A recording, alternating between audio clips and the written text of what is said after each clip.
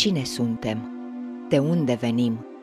Aparținem acestei planete sau suntem ființe venite din alte colțuri ale Universului? Și dacă da, de unde?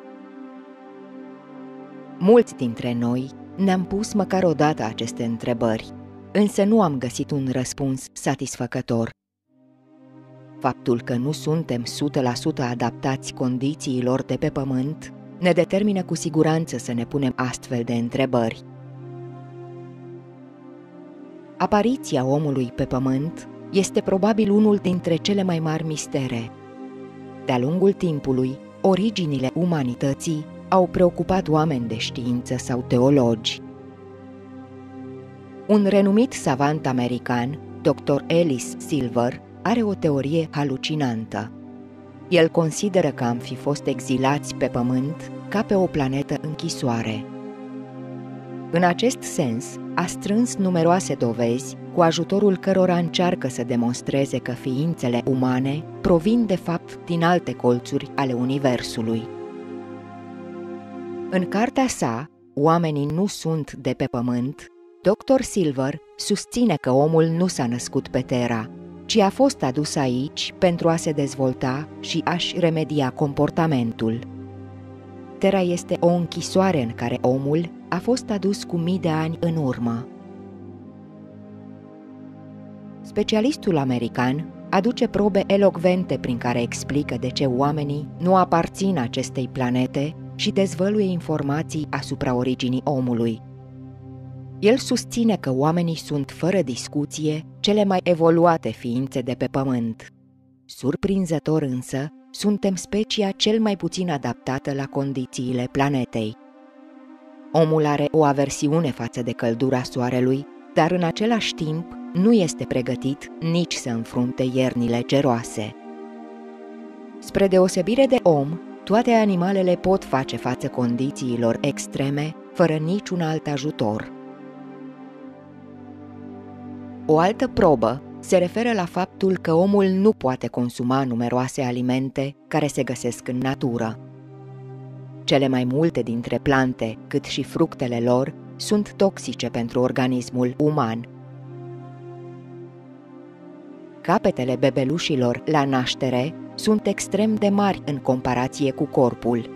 Femeile au dificultăți la naștere, iar în vremurile anterioare, acest lucru a fost adesea fatal pentru mamă, copil sau pentru ambele persoane. Nicio altă specie nativă de pe planetă nu are această problemă, a subliniat Dr. Ellis. Una dintre dovezile care te duc cu gândul că această teorie ar putea fi reală se referă la problemele pe care majoritatea oamenilor le au cu durerile de spate. Conform doctorului, oamenii au fost creați într-un mediu mai prietenos, unde gravitația nu este atât de puternică. Dr. Silver susține că cele mai multe dintre problemele noastre de sănătate provin din faptul că ceasul nostru intern este setat pentru o zi de 25 de ore. Acest fapt a fost demonstrat de oamenii de știință și nu este deloc în concordanță cu cele 24 de ore cât are o zi pe Terra. Din acest motiv se întâlnesc numeroase boli la om și extrem de puține la animale care s-au dezvoltat pentru o zi de 24 de ore. Tot el subliniază faptul că din punct de vedere genetic, ființa umană are un surplus de 223 de gene, a căror justificare nu există. În conformitate cu teoria doctorului, locul cel mai probabil de proveniență al ființei umane ar putea fi Alpha Centaurii, care se află la aproximativ 4,3 ani lumină de sistemul nostru solar. Alice Silver spune că planeta Pământ nu este altceva decât o închisoare unde noi, oamenii, suntem condamnați să trăim și să ne temperăm natura noastră extrem de violentă. Mai mult decât atât, un grup de savanți care au continuat studiul în domeniul geneticii au declarat că ADN-ul uman deține numeroase gene de sorginte extraterestră. Oamenii nu s-au adaptat la viața terestră atât de bine ca celelalte specii de pe pământ. Este surprinzător, dar nu există oameni 100% sănătoși. Constituie aceasta o dovadă că noi nu suntem de aici? Toate speciile care trăiesc pe pământ sunt adaptate perfect la condițiile climatice și de mediu ale planetei, cum ar fi temperaturi extreme, căldură, frig. În schimb, omul nu s-a adaptat nici până astăzi la acest mediu. Chiar dacă această teorie pare fantezistă, există multe alte dovezi care atestă faptul că omul a avut acces la tehnologii de vârf din cele mai vechi timpuri. Să ne amintim de scrierile sacre ale hindușilor, vedele, de unde aflăm despre aparatele de zbor ale acelor vremuri, adică vimanele.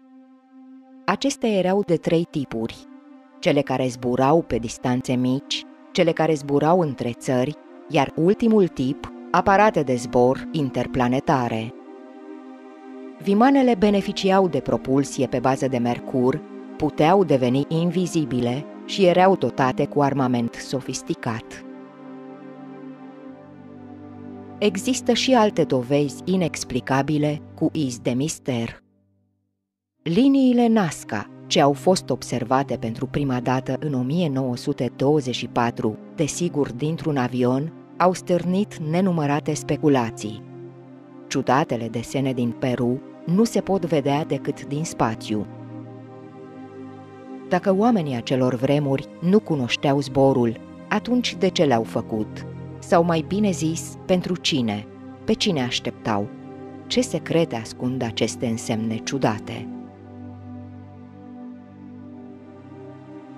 Apariția omului pe pământ este în continuare un mister. Există diverse teorii elaborate pentru a explica existența ființelor umane. Cele mai importante sunt cele religioase sau creaționiste și cele științifice sau evoluționiste. În sfera religiei, omul rămâne o ființă creată, în timp ce în lumea științei este o primată, în jurul originii și evoluției sale, fiind elaborate numeroase teorii. Teoriile științifice s-au izbit de cele religioase, iar omul s-a aflat mereu în centrul unei lupte surde de revendicare a originilor.